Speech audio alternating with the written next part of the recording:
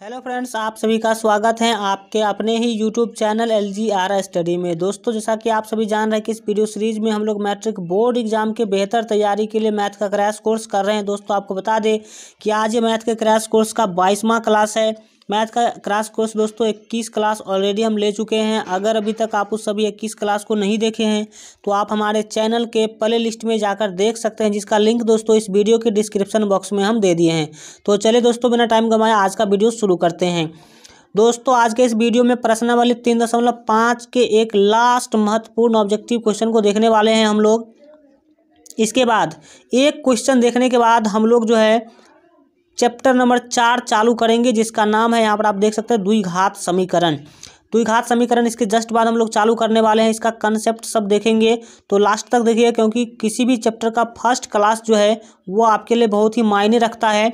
तो यहाँ पर जो आपका पहला, जो आज का जो लास्ट तीसरा नंबर चैप्टर का जो लास्ट महत्वपूर्ण क्वेश्चन है उसको देख लेते हैं। जो लोग हमारा मोबाइल ऐप अब, अगर अभी तक डाउनलोड नहीं किए हैं तो इस वीडियो के दिए गए डिस्क्रिप्शन बॉक्स से आप लोग जो है मोबाइल ऐप को डाउनलोड कर लीजिए।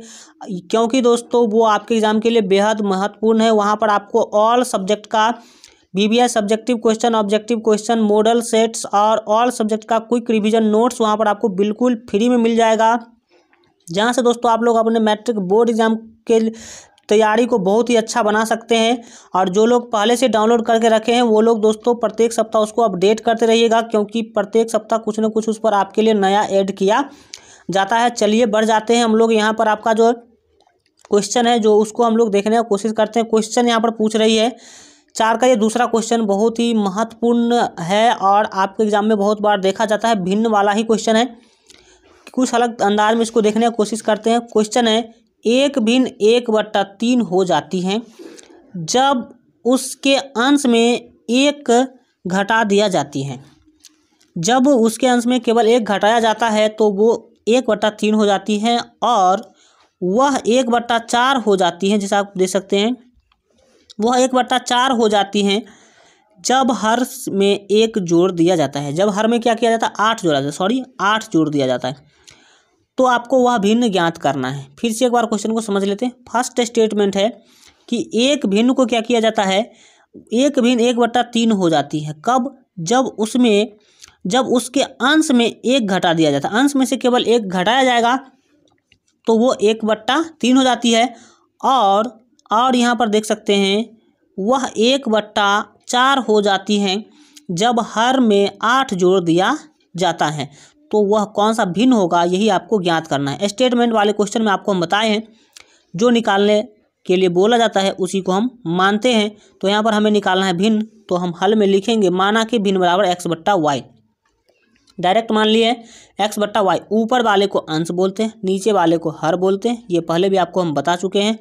अब आपको फ़र्स्ट स्टेटमेंट के आधार पे काम करना है। लिखेंगे प्रश्न से, ये काम हम अपने मन से कर लिए, अब आगे जो भी करेंगे प्रश्न के मन से करेंगे। यहाँ पर आप प्रश्न से क्या करेंगे? आपको फ़र्स्ट स्टेप में बोला गया था फ़र्स्ट स्टेटमेंट में, कि वह भिन्न एक बट्टा तीन हो जाती है जब उसके अंश से एक घटाया जाता है। जब अंश में से देख सकते हैं आप, भिन्न होता है एक्स बट्टा वाई लेकिन ऊपर आप देख सकते हैं कि एक्स में से हम एक घटाए हुए हैं, क्योंकि यहाँ पर बोला गया था कि जब आप एक घटाइएगा तो वो भिन्न होगा कितना? एक बट्टा तीन होगा। एक बट्टा तीन होगा तो यहाँ पर आप देख सकते हैं जब आप घटाइएगा एक एक्स में से और नीचे आपको कुछ नहीं करना है, केवल वाई ही रहेगा तो वो बराबर किसके होगा? एक बट्टा तीन के बराबर होगा। अब इसको आप जैसे आगे सॉल्व कीजिएगा कोना कोनी गुना करने के बाद एक्स को आप तीन से गुना कीजिएगा तीन एक्स और एक को गुना कीजिएगा तीन से तो तीन होगा और वाई को एक से गुना कीजिएगा तो क्या होगा दोस्तों? वाई होगा आपके पास। अब हमें क्या करना होगा? तीन एक्स बाएँ रहेगा वाई को बाएँ लाएँगे तो माइनस वाई और माइनस तीन को भेजेंगे दाहिने तो प्लस तीन हो जाएगा, इसका नाम दे देंगे समीकरण एक। फिर दूसरा स्टेटमेंट में बोला गया था कि केवल आपको क्या करना है, हर से आठ घटाना है। हर में आठ जोड़ना है सॉरी यहाँ पे आप क्वेश्चन को ही देख लीजिए, बेहतर रहेगा। आप देख सकते हैं कि दूसरा स्टेटमेंट बोला गया था कि वह एक बट्टा चार हो जाती हैं, जब हर में आठ जोड़ दिया जाता है। हर में आप क्या करेंगे, आठ जोड़ेंगे तो वो हो जाती है दोस्तों एक बट्टा चार। तो अब इसी स्टेटमेंट को हम लोग जब समीकरण के रूप में व्यक्त करेंगे तो यहाँ पर आपको देखने को मिलेगा, नीचे हम आ जाएँगे। यहाँ पर लिखेंगे पुनः। एक्स बट्टा वाई दोस्तों भिन्न है। हमें हर में केवल आठ जोड़ना है तो नीचे केवल आठ जोड़ दिए हैं तो वो एक बटा चार हो जाती है। मतलब एक बटा चार के बराबर हो जाती है। वो भी दोस्तों हमने लिख दिया। अब आगे क्या करेंगे? कोना कोनी गुना करेंगे। एक्स को चार से गुना कीजिएगा तो चार एक्स होगा वाई प्लस आठ को एक से गुना कीजिएगा तो वाई प्लस आठ होगा। और इस तरह से आप लास्ट स्टेप में देख सकते हैं, चार एक्स बाएँ है तो बाएँ रहेगा वाई को बाएँ लाएँगे तो माइनस वाई हो जाएगा, पहले से आठ हो जाए तो आठ रहेगा इस ये होगा दोस्तों समीकरण दो। अब इसी दोनों समीकरण को आप लोग किसी भी विधि से सॉल्व कर सकते हैं, क्योंकि कोई विधि का नाम क्वेश्चन में लिखा नहीं गया है। तो चलिए हम कैसे सॉल्व करेंगे? लिखेंगे। आप दोनों समीकरण को देख सकते हैं। यहाँ पे हम दोनों समीकरण दिखाने की कोशिश करते हैं। यहाँ पर आप देख सकते हैं दोनों समीकरण आ गया। यहाँ पर एक लाइन लिखेंगे, हम लोग विलोपन विधि से सॉल्व करने जा रहे हैं। तो विलोपन विधि से सॉल्व करते हैं। तो विलुप्त करने का हम लोग बात सोचते हैं कि भाई किस पद को विलुप्त किया जाए। तो यहाँ पर आप देख सकते हैं, समीकरण एक में भी वाई वाला पद माइनस वाई है और दो में भी माइनस वाई है। तो गुना करने का कोई ज़रूरत नहीं है। हम क्या कर देंगे? लिख, देखें, यहाँ पर देख सकते हैं कि लिखे समीकरण एक माइनस, दो माइनस एक करने पर सॉरी दो माइनस एक करने पर। तो दो में से एक आप जब घटाइएगा, दो में से एक जब घटाइएगा तो क्या होगा? आप सर घटाए क्यों? क्योंकि यहाँ पर देखिए, जिसको हम विलुप्त करना चाहते हैं, दोनों के दोनों माइनस में है। मतलब सेम चिन्ह है। ऊपर में वाई माइनस में, और नीचे में वाई माइनस में है। तो जब सेम होगा तो घटाने का काम करते हैं। तो दो में से एक को क्या करेंगे? घटाएँगे। तो आप देख सकते हैं यहाँ पर हम समीकरण दो ऊपर में लिखे, चार एक्स माइनस वाई बराबर आठ, और समीकरण दो नीचे में लिखे हैं जो सॉरी, समीकरण दो है ऊपर और समीकरण एक नीचे है, आज कुछ प्रॉब्लम हो रहा है। समीकरण एक है आपका, तीन एक्स माइनस वाई बराबर तीन तो तीन एक्स माइनस वाई बराबर तीन लिख देंगे। जब घटाते हैं हम लोग तो आपको बताए होंगे कि नीचे का साइन बदल जाता है। ऊपर वाले समीकरण ठीक ठाक रहेगा, वैसे ही रहेगा, लेकिन नीचे वाले समीकरण में सभी साइन अपोजिट हो जाएँगे। प्लस तीन एक्स माइनस तीन एक्स हो जाएगा माइनस वाई प्लस वाई हो जाएगा और प्लस तीन माइनस तीन हो जाएगा। इसके बाद आप देख सकते हैं कि आठ में से तीन घटाइएगा तो आपको मिलेगा पाँच। क्या मिलेगा? पाँच मिलेगा। प्लस वाई और माइनस वाई। ऊपर में आपका माइनस वाई है, नीचे में आपका प्लस वाई है। क्या होगा? कट जाएगा, कैंसिल हो जाएगा, विलुप्त हो गया। अब चार एक्स माइनस तीन एक्स तो एक एक्स होगा। कितना एक्स होगा दोस्तों? एक एक्स होगा। इस तरह से आपको क्या मिला? एक्स बराबर पाँच मिला। क्या मिला दोस्तों? एक्स बराबर पाँच आपको इस तरह से मिल गया। अब यहाँ पर हम बढ़ते हैं आगे। अब आपको क्या करना है? एक्स का तो वैल्यू आ गया भाई। अब अब अब अब आप क्या करेंगे? अब करेंगे एक्स का वैल्यू या तो आप समीकरण एक में रख दो, नहीं तो दो में रख दो, आपको वाई का वैल्यू आ जाएगा। तो यहाँ पर देख सकते हैं, लिखे हमने, समीकरण एक में एक्स बराबर पाँच रखना समीकरण एक में रखने जा रहे हैं हम एक्स बराबर पाँच। तो यहाँ पर आप देख सकते हैं कि समीकरण एक क्या था? तीन एक्स माइनस वाई बराबर तीन था। तो तीन तो तीन ठीक है।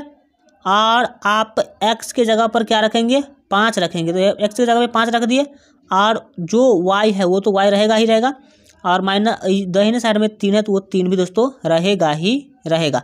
अब अगले स्टेप को आप ध्यान से यहाँ पर देख सकते हैं। सारी बातें आपको समझ में आने वाली है स्टेप बाय स्टेप तीन को पाँच से गुना कीजिएगा तो पंद्रह होगा और वाई आपका माइनस वाई रहेगा ही। उधर दाहिने में तीन है तो तीन रहेगा ही रहेगा। अब आपको क्या करना है? जो माइनस वाई है, उसको देखिए, माइनस वाई बाएँ में है, और तीन क्या है? तीन दाहिने में है तो यहाँ पर दाहिने में रखे प्लस पंद्रह को दाहिने भेजेगा तो माइनस पंद्रह हो जाएगा। और उसके बाद आप बातों को यहाँ पर समझने का कोशिश करेंगे। क्या आपको दिख रहा है? माइनस वाई बराबर माइनस बारह होगा तो माइनस से माइनस यहाँ पर कैंसिल हो जाएगा। वाई बराबर बारह बचा तो आपको वाई का भी वैल्यू आ गया दोस्तों बारह। अब आप लिखेंगे इसीलिए भिन्न बराबर। क्या लिखेंगे यहाँ पर? नीचे लिखेंगे आप लोग, हम यहाँ पे लिख दिए हैं, इसके नीचे आपको लिखना है। लिखेंगे इसीलिए भिन्न बराबर। भिन्न क्या था? एक्स बट्टा वाई था तो एक्स का वैल्यू ऊपर रख देंगे वाई का वैल्यू नीचे रख देंगे एक्स पाँच था वाई बारह था। फाइनल इस तरह से आपको आंसर क्या होगा? आ जाएगा। बहुत अच्छा लग रहा होगा, ठीक है? हम तो ऐसा सोच रहे हैं, क्योंकि हम बता रहे हैं आपको ऐसे ही। आपको कैसा लग रहा है? कमेंट में लिख दीजिएगा, ठीक है? हम बढ़ जाते हैं आगे। आगे का आपका एक नया चैप्टर्स को हम शुरुआत करते हैं। बहुत महत्वपूर्ण यहाँ पर चीज़ें आपको देखने को मिलेगा। ठीक है? वीडियो को लाइक नहीं किए तो वीडियो को लाइक कीजिए, ठीक है? बहुत कम आप लोग जो है लाइक करते हैं, जितना आप दस परसेंट बच्चे भी लाइक नहीं करते हैं। तो कम से कम लाइक के परसेंटेज को बढ़ाइए। हम आपके आगे कंसेप्ट को बढ़ाते हैं। चार नंबर चैप्टर हम शुरू करने जा रहे हैं। मेरा सिद्धांत है, जब तक मैं बेसिक चीज़ें नहीं देखूँगा, तब तक आगू, आगे नहीं बढ़ूँगा। तो चार नंबर चैप्टर के सबसे पहले हम कंसेप्ट को देखते हैं, क्योंकि ऑब्जेक्टिव आपको कंसेप्ट से ही बनेगा। जितना आप कंसेप्ट अधिक पढ़े रहेंगे, उतना ही आपको ऑब्जेक्टिव बनेगा। तो इसके कुछ कंसेप्ट को देखने की कोशिश करते हैं। चैप्टर का नाम है द्विघात समीकरण। चैप्टर का नाम क्या है दोस्तों? द्विघात समीकरण। तो सबसे पहले तो मुझे यही पता होना चाहिए कि भाई द्विघात समीकरण क्या होता है। तो सबसे पहले हमने डाइस लिखा, द्विघात समीकरण क्या है? उत्तर यहाँ पर आप देख सकते हैं, जिस समीकरण का अधिकतम घात दू हो मतलब सबसे बड़ा वाला घात घात मतलब पावर, दू हो उसे द्विघात समीकरण कहते हैं। उसे क्या कहते हैं? द्विघात समीकरण कहते हैं। उदाहरण के रूप में आप देख सकते हैं, यहाँ पर लिए हम, पाँच एक्स स्क्वायर प्लस छः एक्स प्लस नौ बराबर ज़ीरो, दूसरा भी वही है X square, Y square plus Y बराबर ज़ीरो, यहाँ पर आपका सी पद नहीं है। यहाँ पर आप देख सकते हैं दो एक्स स्क्वायर प्लस छः प्लस एक्स बराबर छः, ये भी द्विघात समीकरण है। आपको अगर पावर दिख जाए तो द्विघात समीकरण हो गया। पावर दो दिख जाए। पावर कितना दिख जाए? अधिकतम घात। बोल दिया मैंने, अधिकतम घात अगर दो हो जाए तो क्या हो सकता है? वो हो जाएगा दोस्तों द्विघात समीकरण। और द्विघात समीकरण के बारे में और हम आगे बढ़ जाते हैं यहाँ पर। बहुत महत्वपूर्ण यहाँ पर स्टेप लिया गया है। इस स्टेपों को आप अभी समझ ले तो बेहतर होगा, नहीं तो आप आगे भी समझ सकते हैं। हम यहाँ पर ही समझने का कोशिश करते हैं। यहाँ पर द्विघात समीकरण को हल करने का हमने यहाँ पर दोस्तों विधि लिखा है। क्या लिखा है? विधि बेस्ट कंसेप्ट के रूप में लिखा है। गुणनखंड विधि से द्विघात समीकरण के मूल ज्ञात करने का नियम ये क्या है? गुणनखंड विधि से आपको द्विघात समीकरण के मूल ज्ञात करने का सबसे पहले नियम सीखना है, क्योंकि सवाल नहीं सीखना, सवाल नहीं रटना, आपको रटना है नियम रटो। क्या रटो? नियम रटो। तो नियम रटने का सबसे पहले यहाँ पर काम करेंगे हम लोग। रटेंगे नहीं, बातों को समझेंगे। आपको गुणनखंड विधि से जब कभी भी द्विघात समीकरण का मूल निकालने के लिए बोला जाए तो अभी जो हम आपको स्टेप बता रहे हैं, उसी स्टेप का अनुसरण करेंगे, उसी स्टेप पर काम करेंगे तो आपको सॉल्व हो जाएगा। सबसे पहला स्टेप समीकरण को A X square plus B X plus C बराबर ज़ीरो के रूप में लिखें। तो ये काम पहले कर लेंगे। उसके बाद सेकेंड स्टेप करेंगे। ए गुने सी बराबर एम प्राप्त करें। मतलब ए को गुना कीजिएगा आप सी से तो आपको जो भी आएगा उसको एम हम बोलेंगे। इसके बाद तीसरा स्टेप में आपको एम का ऐसा दो गुणनखंड निकाले जिसको जोड़ने या घटाने पर बी पूरे। जोड़ने या घटाने पर क्या पूरे आपको? बी मिले। ये काम करेंगे। नेक्स्ट जो आपका चार नंबर स्टेप करेंगे, वो क्या करेंगे? अब मध्य पद, यानी कि बी एक्स वाला जो भी पद होगा, उसको आप जैसे दो व्यंजकों के योग के रूप में लिखेंगे। योग या नहीं तो घटाओ योग या नहीं तो घटाओ के रूप में भी आप योग के रूप में लिखेंगे, बेहतर रहेगा। पांचवा स्टेप क्या करेंगे? कॉमन लेने के बाद प्रत्येक गुणनखंड को शून्य के बराबर लिखकर एक्स का मान ज्ञात करेंगे। ये पाँच स्टेप आप सॉल्व, याद रखिएगा तो आपको द्विघात समीकरण को सॉल्व करने में कोई ज़्यादा प्रॉब्लम नहीं आएगा। यहाँ पर हम जो है एक द्विघात समीकरण को सॉल्व भी कर लेते हैं, क्योंकि आपका कुछ कोई टाइम यहाँ पे बचा हुआ है तो आपके टाइम का हम सदुपयोग कर लेते हैं। क्वेश्चन आप ध्यान से देख रहे होंगे, इस टाइप का क्वेश्चन आना आना है और पूछा जाता है। क्वेश्चन है आपका जो क्वेश्चन उदाहरण से लिया गया है, उदाहरण के रूप में हम क्वेश्चन आपको डाल रहे हैं। द्विघात समीकरण दो X square minus X plus एक बट्टा आठ बराबर ज़ीरो का मूल, या नहीं तो उसी को शून्य भी बोला जाता है। गुणनखंड विधि से ज्ञात करें। किस विधि से ज्ञात करें? गुणनखंड विधि, या विधि याद रखेगा क्योंकि बहुत सारा विधि हम लोग सीखने वाले हैं यहाँ पे, और बहुत सारे सीख भी चुके हैं। तो आपको इस समीकरण का गुणनखंड विधि से मूल निकालना है, और मूल का ही दूसरा नाम होता है शून्यक। मूल का ही दूसरा नाम होता है शून्यक। तो क्या करेंगे?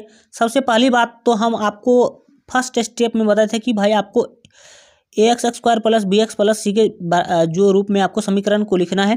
तो यहाँ पर आप देख सकते हैं कि ये जो आपका समीकरण है वो उसके रूप में नहीं है, बट्टा दिख रहा है, एक बट्टा आठ, एक बट्टा आठ, बट्टा हटाना है। क्या करना है आपको बट्टा हटाना है?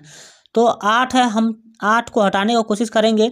आठ जो आप हटाने के लिए जाएँगे दोस्तों तो आपको बता दें कि जब आप आठ को हटाइएगा तो जिसको हटाना हो, उससे तीनों पद में आपको गुना करना होगा। तो यहाँ पर आप देख सकते हैं, दो एक्स को भी हम आठ से गुना किए हैं एक्स को भी आठ से गुना किए हैं और एक बट्टा आठ को भी आठ से गुना किए क्योंकि हमें आठ हटाना है इससे आपका आठ हट जाएगा। कैसे देखिए यहाँ पर? आठ, यहाँ पर आठ से आठ क्या हुआ? कट जाएगा। तो आठ को दो से गुना कीजिएगा तो सोलह एक्स स्क्वायर और एक्स को एक से आठ को एक एक्स से गुना कीजिएगा तो आठ एक्स और आठ आठ यहाँ पे कट गया, बचा एक। तो यहाँ पर आप लिखेंगे एक बराबर ज़ीरो। इस तरह से आप जो है, सबसे पहला काम आपने कर लिया। A X square plus B X plus C के रूप में समीकरण को आपने लिख लिया।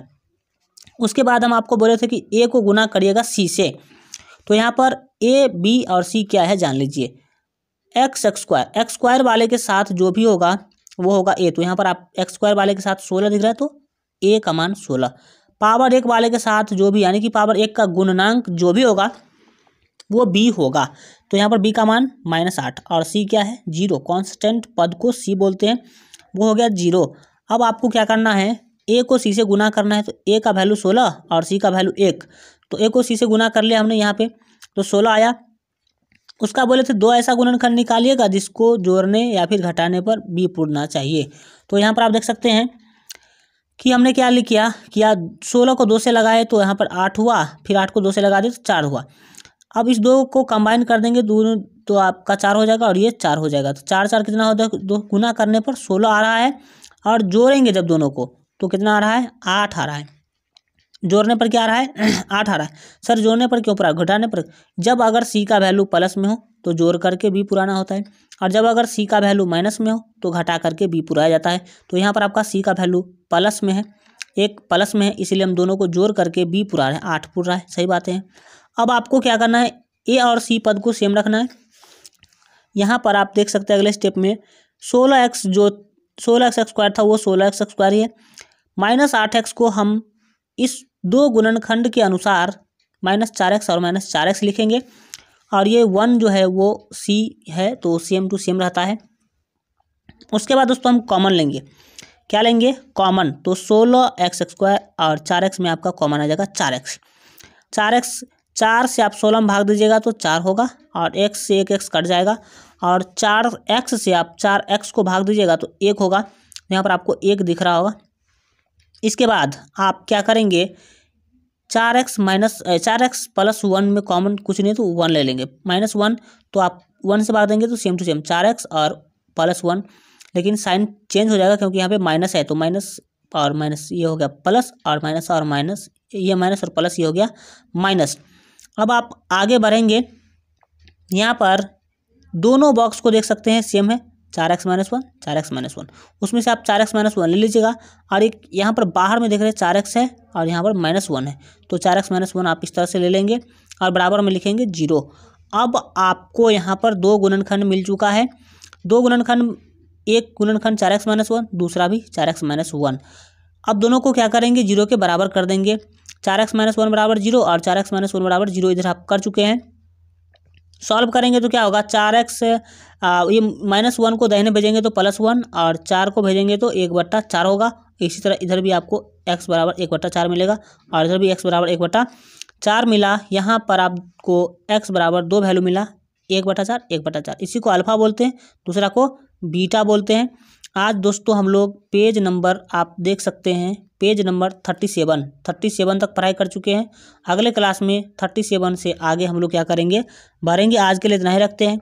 वीडियो कैसा लगा कमेंट के माध्यम से ज़रूर बताइएगा। जो लोग ऐप को डाउनलोड नहीं किए ऐप को डाउनलोड कर लीजिए। जो लोग डाउनलोड करके रखे हैं, वो लोग आप लोग अपडेट कर लीजिएगा। नया नया चीज़ आप लोग के लिए जुड़ता रहता है।